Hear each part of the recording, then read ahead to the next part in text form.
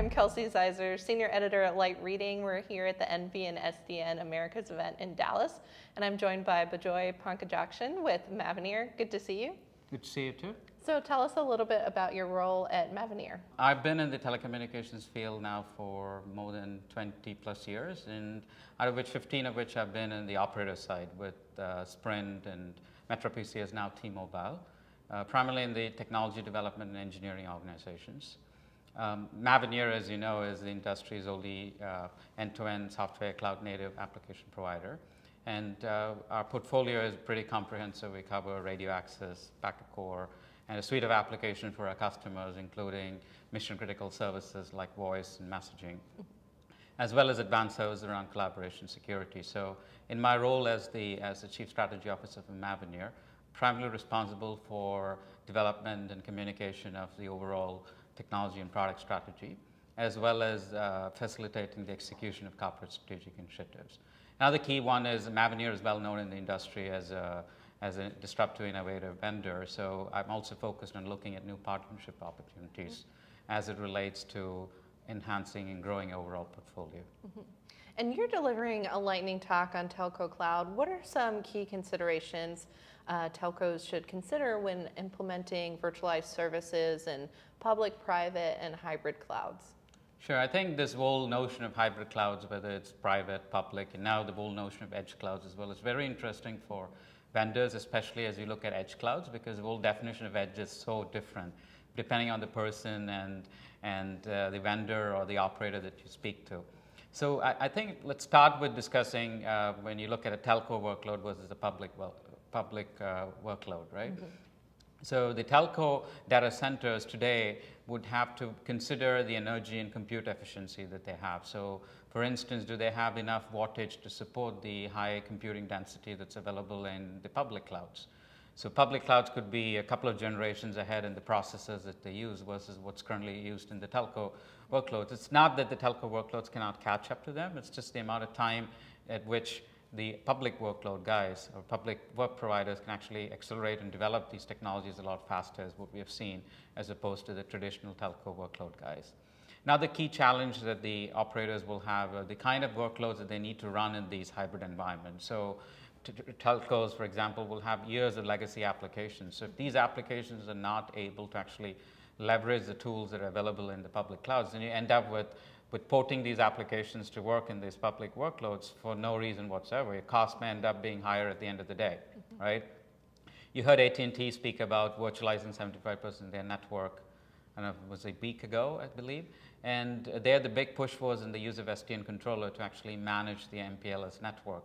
But if you look at how SDN or software-defined networking is actually used in in typical public clouds there's a lot more use cases. So we need to see this growth of SDN and NFV and the whole web scale platform being adopted in the telco in this multi-cloud environment. Okay, so it sounds like there's both some key technical as well as cultural changes that need to happen. Technical, cultural changes as well as economic considerations, right? So you need to mm-hmm. start with what are you trying to achieve out of this transition to a multi-edge cloud. So for example, if it's an edge cloud deployment, it's the economic answer could be pretty simple because you're trying to achieve a better user experience for the user. It could be something like an AR, VR kind of application that you're running and if, you, if that's being processed out of a data center that's running farther away from the edge of the network, mm -hmm. then you end up with a worse experience than if you could actually deliver it out of the edge of the network. That'd be especially important with uh, healthcare applications. Absolutely. you hear a lot about uh, operators and vendors talk about the next gen of services that mm -hmm. can mm-hmm. be enabled by 5G and you definitely hear healthcare and you hear connected cars. But there are some technical aspects to consider as well. I mean, there needs to be some of these latency considerations which need to be addressed first. But mm -hmm. those, that's opening up the world to a whole set of new use cases as 5G rolls mm -hmm. out. We've also been discussing uh, cloud native services a lot this week. What are some of the major challenges telcos face in deploying cloud native services? So I guess we should start with defining what is cloud native because I hear vendors actually, vendors and even operators use this term as a marketing buzz right now. And cloud native starts off, at least in the Mavenir definition, it is, it's containerized. It's micro, even if it's not containerized, maybe there's a way to run it in a microservices architecture. And then more importantly, it's how do you leverage those tools that are available to run this microservice architecture as cloud native. So the challenge that we've seen is actually operators, even the ones who've been ahead of this curve, whether it's be the AT&Ts or the Verizons or, or Deutsche Telekoms or, or Rakuten, for the example, deploying a cloud native network. The challenge starts with, am I deploying an NFV OpenStack deployment architecture? Am I going straight to containers? And what we have seen is the early wave of operators who adopted NFV OpenStack went with the distributed architecture where they said, okay, I'll give the infrastructure layer to one vendor, I'll give the, the next layer above it to a second vendor, the mm-hmm. application provider comes in first. And this is, this is challenges not just from the technical aspect of trying to figure out in case of an issue, mm -hmm. the app provider Mavenir gets picked up we get the first call saying, is there an issue? Mm -hmm. Then you end up troubleshooting the end-to-end stack. And of course, the other issue is the economic impact of it, because earlier, when we were providing the full stack implementation, you had X amount of dollars distributed to that one vendor versus now we are piecemealing this. Mm -hmm. So it ends up with us having to actually support multiple layers and distributing this money among multiple players at the end having to debug these issues as well. So this is one thing that we're looking at as we transition to the next wave of containerized web scale platforms is how do you address the challenges at the lower layers because our application is heavily reliant on the platform capabilities in this web scale architecture. Okay, a lot of moving parts there. A lot of moving parts yeah. there, definitely. What kind of impact do you think 5G would have on the deployment of cloud native services?